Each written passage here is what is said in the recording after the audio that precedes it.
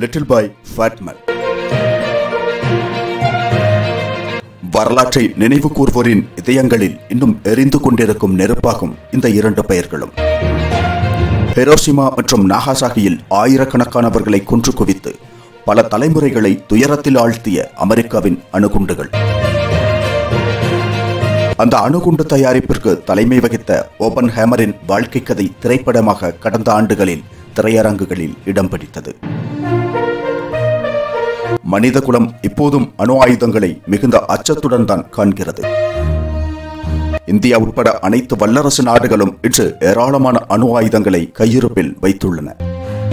உலகையே ஒரே அடியாக அழித்துவிடும் ஆற்றல் வாய்ந்த அணு ஆயுதங்கள். நம்ம இந்தியாவும் அந்த விஷயத்தில் சிறிதும் பின்தங்கவில்லை. இந்தியாவின் அணுசக்தி திறன் ஒவ்வொரு ஆண்டும் அதிகரித்துக் கொண்டுள்ளது. பரம எதிரியான பாகிஸ்தானும் அணுசக்தி திறனை அதிகரித்து வருவது பிராந்தியத்தில் அச்சத்தை விதைக்கிறது. இந்தியாவின் அணு ஆயுத வலிமை என்ன? அதை பார்க்கலாம். அதற்கு முன்பு உலகத்தில் ஒட்டுமொத்த நிலையை பார்க்கலாம்.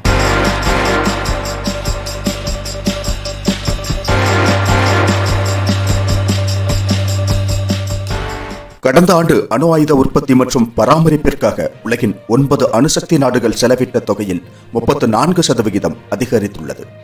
அதில் அமெரிக்கா மிக அதிக அளவில் செலவு செய்துள்ளது. இரண்டாயிரத்து இருபத்தி மூன்றில் மட்டும் அமெரிக்கா ஐம்பத்து ஒன்று புள்ளி ஐந்து பில்லியன் டாலர்களை செலவிட்டுள்ளது. அதாவது நாற்பத்து ஐந்து சதவிகித அதிகரிப்பு. உலகின் தொண்ணூறு சதவிகித அணு ஆயுதங்களை ரஷ்யாவும் அமெரிக்காவும் சேர்ந்து வைத்துள்ளன. உலகில் தற்போது பன்னிரெண்டாயிரத்து நூற்று இருபத்தி ஒரு அணு ஆயுதங்கள் இருப்பதாக மதிப்பிடப்பட்டுள்ளது. அவற்றுள் மூவாயிரத்து தொள்ளாயிரத்து நான்கு போர் முனைகள் எந்த நேரத்திலும் தாக்குதலுக்கு தயாராக உள்ளன. மீதமுள்ள ஒன்பதாயிரத்து ஐநூற்று எண்பத்து ஐந்து பாதுகாப்பாக பராமரிக்கப்படுகின்றன. கடந்த ஓராண்டில் அறுபது அணு ஆயுத ஏவுகணைகள் அதிகமாக போருக்கு தயார் செய்யப்பட்டுள்ளன. பனைப்போர் காலத்தை விட இந்த எண்ணிக்கை குறைவாக இருந்தாலும் தாக்க தயாராக உள்ள ஆயுதங்களின் எண்ணிக்கை அதிகரித்துள்ளது.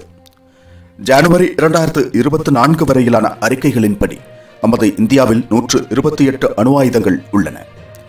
இரண்டாயிரத்து பத்து வரை பாகிஸ்தானின் அச்சுறுத்தலை எதிர்கொள்வது மட்டுமே இந்தியாவின் அணு ஆயுத வளர்ச்சிக்கு பின்னால் இருந்த ஒரே உத்தியாக இருந்தது. ஆனால் இரண்டாயிரத்து இருபத்தி மூன்றில் அது சீனாவை எதிர்கொள்ளும் அளவிற்கு வளர்ந்துள்ளது. இந்தியா நீண்ட தூர அணு ஆயுத ஏவுகணைகளை உருவாக்கியுள்ளது அதைத்தான் உணர்த்துகிறது.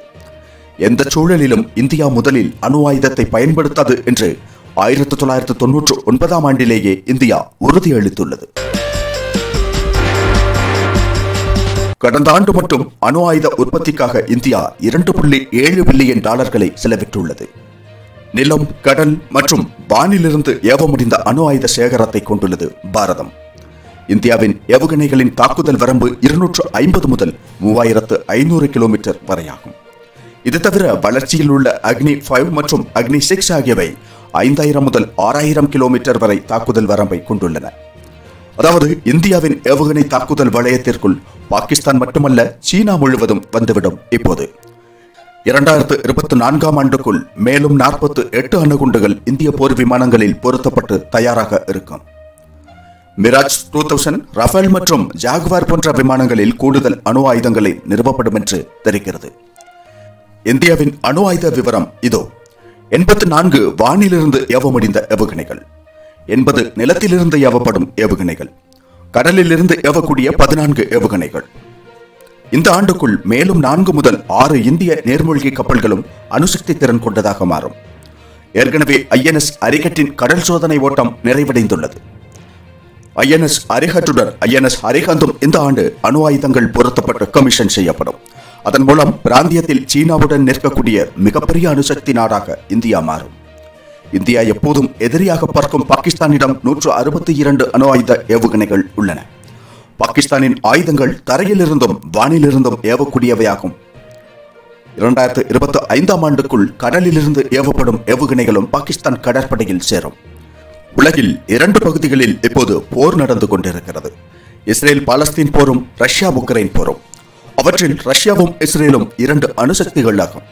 ஏதேனும் ஒரு கட்டத்தில் ஏதேனும் ஒரு நாடு அணு ஆயுதத்தை பயன்படுத்தி விடுமோ என்ற அச்சத்திலும் கவலையிலும் உள்ளது இன்று உலகம். இனி யாரும் இன்னொரு ஃபேட்மேன் மற்றும் லிட்டில் பாயை பயன்படுத்த மாட்டார்கள் என்று நம்புவோம்.